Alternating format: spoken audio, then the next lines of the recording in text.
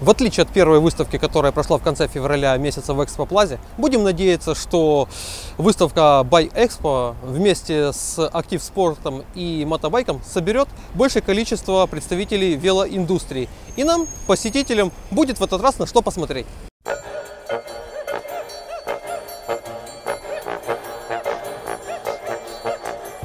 Многие велосипедные компании стали отдавать предпочтение неспециализированным выставкам, которые с каждым годом стали собирать все меньше и меньше участников, а выставкам, которых объединяет понятие активный отдых, на которых, представляя себя, компании пытаются охватить более широкий сегмент рынка, убить, скажем так, больше зайцев.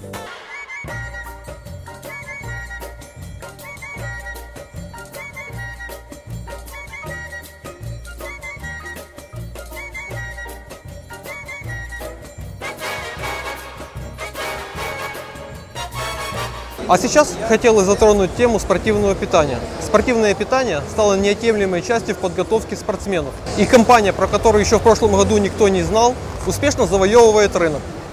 Приятно констатировать, что в Украине развивается велоспорт. Каждый год появляются новые соревнования. Больше людей включается в спортивную активность, и все знают, что нельзя заниматься серьезно любым спортом без поддержания организма спортивным питанием.